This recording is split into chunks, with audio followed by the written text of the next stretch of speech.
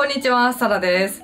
各 SNS とオリジナルコスメブランドミラージェムもぜひよろしくお願いいたします。はい、ということで今回は今までですね、一番高いデパコスくださいとか、一番安いデパコスくださいとかね、そういうその一番高い安い縛りをしてきたんですけども、今回はプチプラコスメの中で一番高い商品は何なのかっていう、逆に高いものだけ集めてメイクしていきたいと思います。これね、結構面白いラインナップになりました。で、プチプラコスメの中で一番高い商品って調べたところもうほぼ全部ファンデーションなんですよ。でもファンデーションだけだとメイクできないので、ファンデーションの次に高いものをメインで選んで、えーいい感じに組み合わせて買ってきました。まずですね、セザンヌで一番高い商品、こちらです。皮脂テカリ防止下地の保湿タイプ、オレンジベージュ。こちらが一番ファンデの次に高い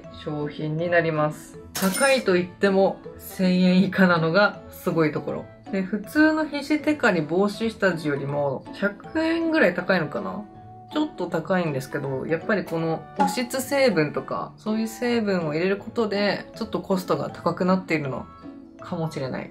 しっとり保湿しつつ、色ムラをカバーしてくれる。はい、次。プチプラの中でも結構高めと言われているエクセルの一番高い商品はこちらになります。エクセルサイレントカバーコンシーラー。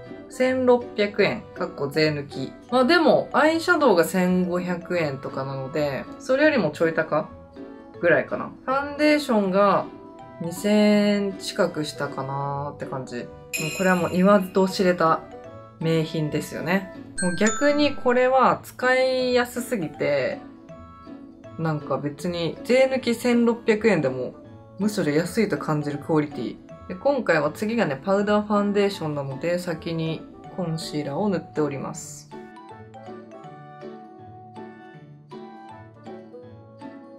はい、お次。魔女魔女の一番高い商品。こちらです。えー魔女魔女はファンデを使うので、これが本当に一番高い商品でした。スキンリメイカーフォアカバーで、この中身のファンデーションとスポンジセットが1980円、かっこ税込み。こちらのケースが別売りで770円税込み。なので、なので合計で2750円です。魔女魔女で3000円近い商品って全然想像つかないですよね。このパッケージもすごく豪華だし、鏡も大きくて見やすいし、で、あとこの中身のパウダーもすごくロングセラーで評判がいいです。色味がオークル10番。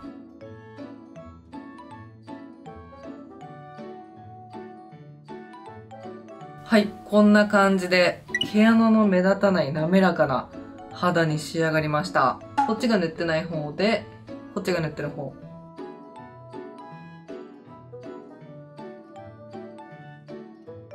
反対側も塗っていきます。若干色暗かったかな？ほんの少し。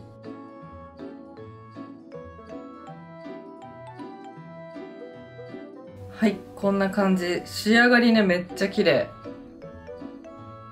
マジョマジョってリピ買いする人が多いから、このケース代も結構高いけど、一回買っちゃえば、ずっと詰め替えて使えるから、それでなんか長年愛される商品なんだろうなって思いました。はい。そして次、メイベリンの一番高い商品がこちら。メイベリンブローインクカラーティントデュオ。です。メイベリンの中でも一番新作。リキッドファンデーションが1760円で、こちらが1749円。なので、ほぼファンデーションと同じぐらいの価格。で、こちらなんとこっちにペンシルがついてて、反対側にアイブロウマスカラがついてるんですよ。これ一本で完成しちゃうっていう素晴らしいアイテム。で、しかもですね、ただの丸い細芯じゃなくて、こう見えて、ちゃんと斜めカットの細いアイブロウペンシルなんですよ。芯はちょっと柔らかめで、手の甲でも描けるぐらいの柔らかさ。こんな感じでふんわり描けるので、アイブロウスクリューブラシがなくても全然いける。で、反対側の眉マスカラを、これちょっと自己流で折り曲げちゃってます。はい、これで完成。これポーチの中身とか軽くしたい人にもめっちゃいいと思う。はい、次はですね、エチュードの一番高いコスメ。えー、エチュードって結構安いイメージあるんですけど、アイブロウとか単色アイシャドウとか一番高い商品がこちらになります。えー、これもかなり最近出たやつですね。プレイトーンアイパレット。で、これがカシミヤモーブっていうカラーです。これが日本価格で3300円。9点のエチュード韓国公式ストアだと2640円で買えます。でもね、これめっちゃ可愛くて、発売されてすぐ買いました。マットカラーとラメカラーと、あとチークカラー、あと物によってはシェーディングカラーなんですけど、フェイスカラーが一色ついてて、めちゃくちゃ便利。そしたら塗っていきます。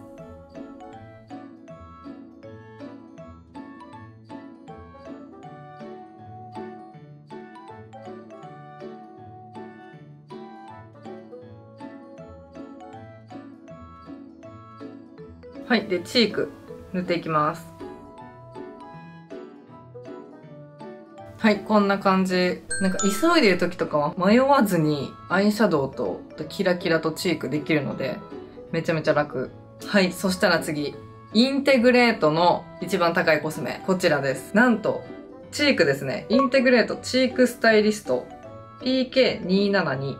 これがですね、1650円。結構キラキラが多めに入ったツヤ感の出るチークで、触り心地のいいナイロンブラシもついてます。なんかアイシャドウかなと思ったらまさかのチークでした。でもこれ発売されたのいつだろう ?2017 年に発売された商品なので、結構経ってますね、発売されてから。なんかね、口コミを見てるとラメがちょっと多いみたいな口コミがあるんですけど、でも今結構ツヤ感チークとか流行ってるじゃないですか。だから、一周回ってきた。インテグレートのチークの時代がようやく来たって感じ。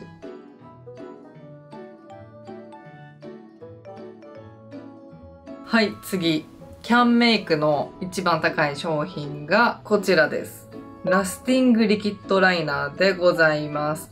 私が今使ってるのはこの06番。最近発売されためっちゃ可愛い色。なんかこれあんま高いイメージなかったアイシャドウかなって思ってたんだけど。ちなみに一番高いのは、あの、マシュマロフィニッシュパウダーとか、そっち系のパウダー系ですね。次に高いのがこのアイライナー。この色味、さっきのエチュードのアイシャドウとめちゃくちゃぴったり。そして、あの激安コスメブランド、チフレの最高額コスメがこちらになります。チフレのマスカラです。えー、これはナチュラルロングタイプのブラックです。シフレもやっぱりファンデーションが一番高いんですけど、その次に高いのがこのマスカラ。まあでも高いと言っても1000円しないので、安い。こんな感じの、ブラシは全体的に細めなんだけど、毛が密集して短い感じのブラシです。こんな感じで、めちゃめちゃセパレートな仕上がり。うわ、めっちゃまつげ伸びた。これ超塗りやすい。このね、ブラシがいいよね。なかなか見ない形状。めっちゃ目力出た。はい、そして、ケイトの一番高い商品、こちらです。ケイトレッドヌードルージュ。こちらは02番なんですけど、えー、コロナ禍前に発売された赤とベージュを混ぜることによって、無限の色を作れるよっていうリップパレットでございます。仕事とかの日は、ベージュをめっちゃ多めにして、ナチュラル系カラー。で、もうちょっと軽色感が欲しいなって時は、この赤を足せば、こうやって華やかにもできるよってやつ。で、これ赤だけじゃなくて、ピンクとかパープルとかオレンジとかいっぱいバリエーションがあります。で、マットタイプも出てます。これね、コロナになる前は本当に結構使ってたんですけど、今はもはやもう、リップモンスター一強ですよね。これは絶対開発した人も悔しい思いをしてるだろうなって思います。私はね、結構撮影の時とか光で色が飛んだりするので、そういう時はこれで赤を足して撮影したりとかしております。はい。ということで、いかがでしたでしょうか？結構意外な商品がいっぱい出てきてめっちゃ面白かったです。ね、ぜひね、気になるコスメがあったら、すごい優秀なものばかりですので、チェックしてみてください。ということで、チャンネル登録と Twitter とインスタもぜひよろしくお願いいたします。それではまた次の動画でお会いしましょう。サラでした。